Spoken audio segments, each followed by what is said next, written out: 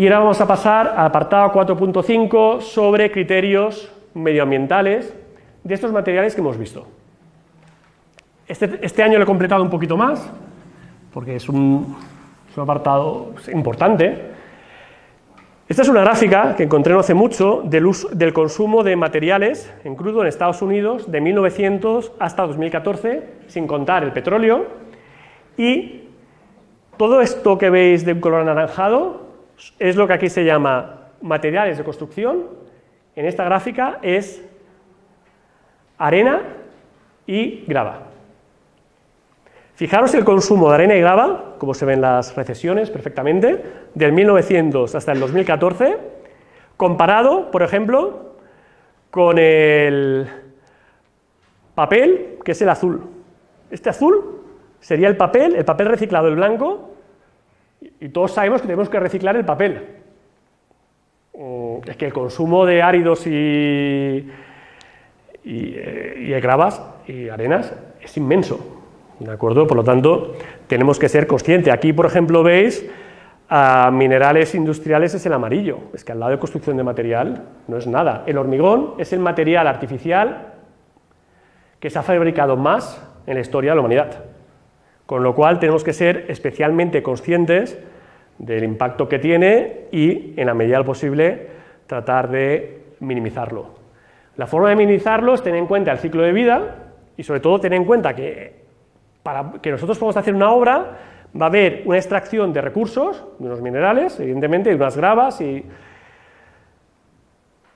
se van a manufacturar cementos, aceros, diferentes materiales, la construcción in situ, en la prefabricación se ir colocando, y vamos a utilizar el edificio.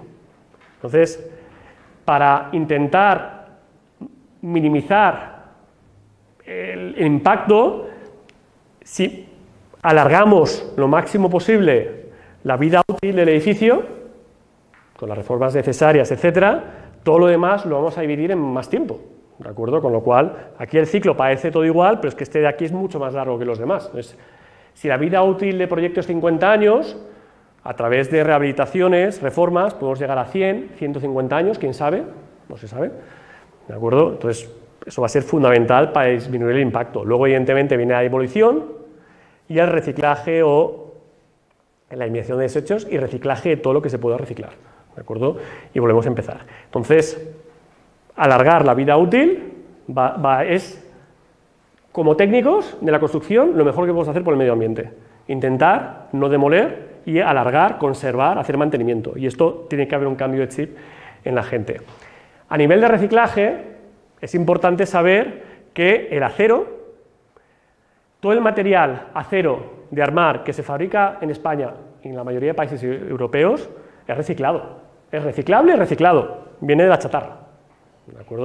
El acero se fabrica en, en hornos eléctricos o en altos hornos. Los altos hornos, todos hemos visto lo que ha ido pasando, fueron pasando las décadas anteriores, casi no quedan altos hornos aquí. Lo que tenemos son hornos eléctricos y todo sale de, reciclaje de chatarra. Con lo cual, el acero de armar, si viene de aquí, va a ser reciclado. Y los áridos son más difíciles de reciclar, pero hay que saber que España en esto fue muy pionero. El anejo 15 de la instrucción HE es sobre recomendaciones para utilización de hormigones reciclados. El hormigón se puede coger con la fotografía de arriba, machacar y volver a utilizar. Y en Holanda o Japón son procesos muy habituales. En España, en sitios en los que pueden separar lo que es el hormigón reciclado del resto de materiales de construcción, en Mallorca, ¿qué pasa? Tenemos esto de aquí, fijaos que es bastante diferente. Tenemos áridos mixtos, mucho material cerámico metido dentro, que para volver a hacer hormigón estructural no va bien, porque además el material cerámico muchas veces tiene yeso pegado, el yeso son sulfatos, entonces complican todo, complican el proceso para hacer materiales estructurales.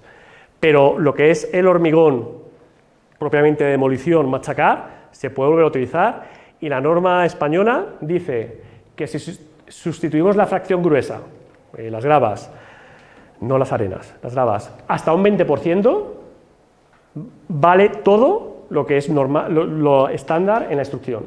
Y si queremos sustituir más de un 20%, hay un anejo para ello. ¿De acuerdo? Aquí de momento lo tenemos complicado, porque son áridos mixtos. Y las dos últimas diapositivas, ah, hay que conocer cuál es el impacto, cuáles son las emisiones de CO2 de un metro cúbico de hormigón. ¿De acuerdo? Aquí os he puesto de una guía de la FIP, la Federación Internacional del Hormigón, del año 2012, Guidelines for Green Concrete Structures, y podéis ver aquí para un metro cúbico estándar de hormigón, 300 kilos de cemento, otros materiales cementicios, arena, grava, agua, acero, el hormigón, al final, por un metro cúbico de hormigón, tenemos de en torno de 400 kilos de emisiones de CO2, de los cuales la mayoría viene del cemento, de estos 400, el cemento son 240 o 270, y el acero, con una cuantía habitual, no muy alta, pues aquí serían 30. La mayor parte viene del cemento o del acero, ¿de acuerdo? Un poquito más del transporte. Entonces, ¿se puede disminuir? Aquí el cemento nos han puesto que tiene unas emisiones entre 0,8 y 0,9 kilos. El número fácil es recordar casi un kilo. Emitimos un kilo de CO2 por cada kilo de, cemento. El acero también es 1,1 aproximadamente, ahí a, veces llega hasta 2. ¿Se puede bajar este contenido, estas emisiones de CO2 y la energía embebida que hay dentro del cemento? Sí que pueden bajar y la industria de hecho lo está bajando. Aquí tenéis de, de una guía inglesa, en concreto esto es de Inglaterra, pero bueno, al final los cementos son más o menos iguales y los procesos también.